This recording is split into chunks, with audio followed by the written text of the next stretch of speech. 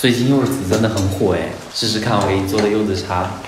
秋天的顺序是想你、见你、给你剥柚子，所以今天是男朋友一定要学的蜂蜜柚子茶。没有男朋友的也要自己动手哦。柚子瓤的部分记得要去干净一点，要不会有很重的苦味。处理好的柚子加盐水泡上三十分钟，果肉像这样切就能剥得很干净。把柚子煮至半透明，加入冰糖，倒入清水，盖上盖子煮至粘稠。放凉后加入蜂蜜。天气慢慢变凉了，嗓子不舒服的时候来上一杯，再合适不过了。再来给大家介绍一下最近新种草的流马一克，他们家榴莲的品质特别好。